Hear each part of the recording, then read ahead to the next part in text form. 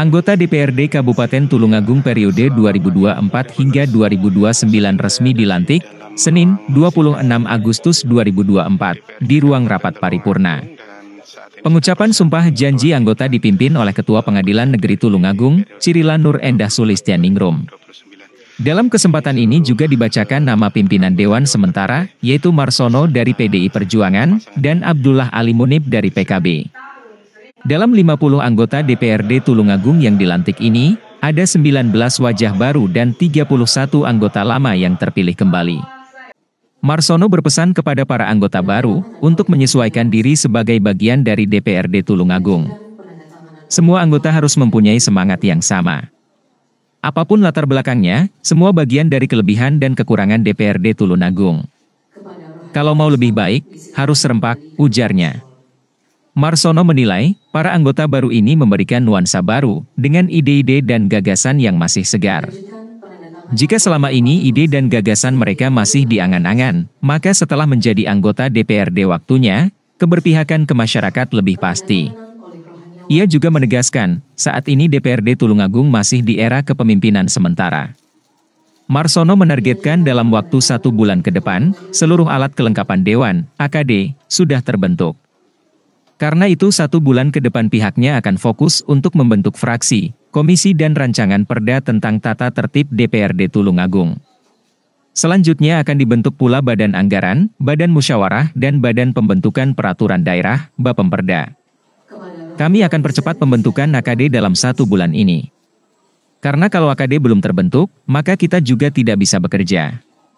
Ini seperti masa kepompong, sambungnya. Marsono berharap para anggota baru ini nantinya ditempatkan oleh partai sesuai dengan kemampuan mereka.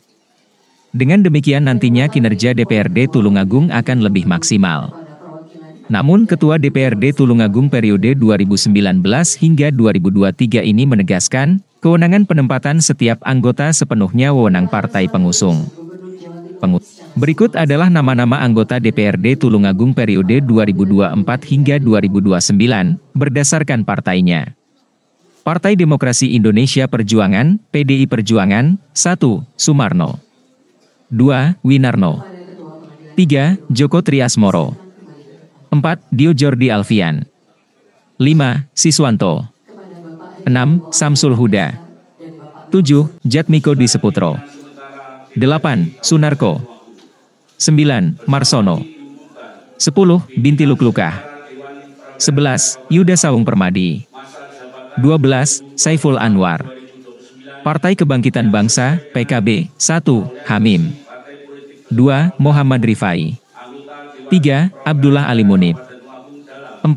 Horurur Rohim 5. Fuad Ashari 6. Masyud 7. Ali Masruf 8. Mulyono Susanto 9. Arif Zainuddin Partai Gerakan Indonesia Raya, Gerindra 1. Eka Yeni Retnosari 2. Ahmad Baharudin 3. Dr. Median Rikca Alvinca 4. Ebin Sunario 5. Muhammad Tohar 6. Widodo Prasetyo 7. Basroni 8. Sumarsono Effendi Partai Nasional Demokrat, Nasdem, 1. Te Hong Sem.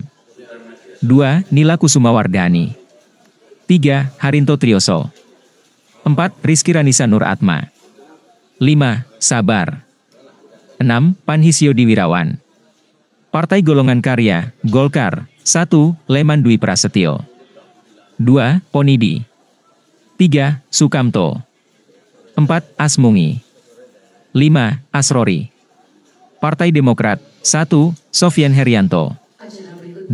Ali Imron 3. Sutomo Partai Keadilan Sejahtera, PKS, 1. Reno Mardi Putro 2. Andrianto Partai Hati Nurani Rakyat, Hanura, 1. Mutiin 2. Subani Sirap Partai Amanat Nasional, PAN, 1. Rijal Abuloh 2. Feni Rofaidah Partai Persatuan Pembangunan, P3. Ardia Pramesti Regista Cahyani